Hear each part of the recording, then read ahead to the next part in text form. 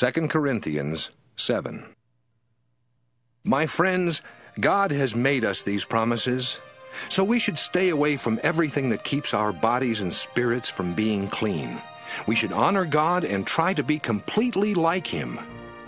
Make a place for us in your hearts. We haven't mistreated anyone or hurt anyone. We haven't cheated anyone. I am not saying this to be hard on you, but as I have said before, you will always be in our thoughts whether we live or die. I trust you completely. I am always proud of you, and I am greatly encouraged. In all my trouble, I am still very happy. After we came to Macedonia, we didn't have any chance to rest. We were faced with all kinds of problems. We were troubled by enemies and troubled by fears. But God cheers up people in need, and that is what He did when He sent Titus to us. Of course, we were glad to see Titus, but what really made us glad is the way you cheered him up.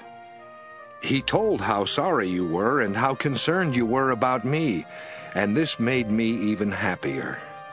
I don't feel bad anymore, even though my letter hurt your feelings. I did feel bad at first, but I don't now.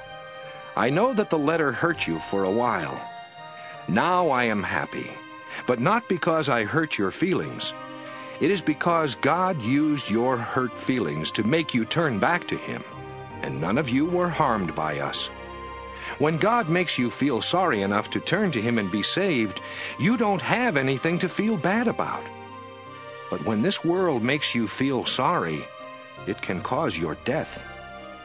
Just look what God has done by making you feel sorry. You sincerely want to prove that you are innocent. You are angry. You are shocked. You are eager to see that justice is done.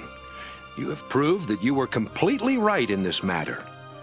When I wrote you, it wasn't to accuse the one who was wrong or to take up for the one who was hurt. I wrote so that God would show you how much you do care for us. And we were greatly encouraged. Although we were encouraged, we felt even better when we saw how happy Titus was because you had shown that he had nothing to worry about. We had told him how much we thought of you, and you did not disappoint us. Just as we have always told you the truth, so everything we told him about you has also proved to be true. Titus loves all of you very much, especially when he remembers how you obeyed him and how you trembled with fear when you welcomed him. It makes me really glad to know that I can depend on you.